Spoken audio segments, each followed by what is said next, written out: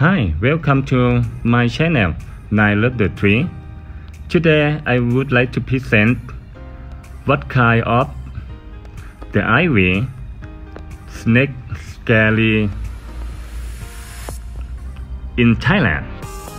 So we have so many kind of the ivy in Thailand, but I would like to present this one for you guys to see because there's the snake scary to come this ivy this ivy have the flower very beautiful on November, December and January every year. So you know already right about if you planting the ivy on your patio or your house have something to calm your ivy calm your house. That's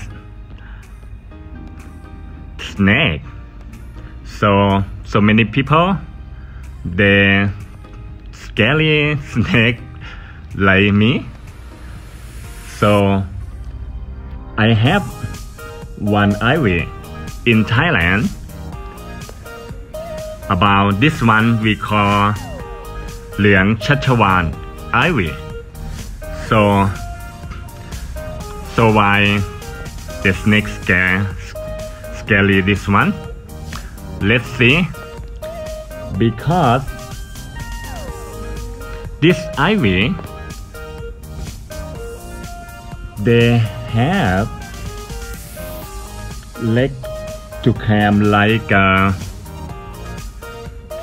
like a eagle or um I or like cat. uh,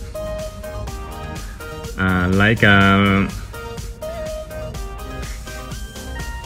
nail of cat or nail of the eagle like that to climb the wall so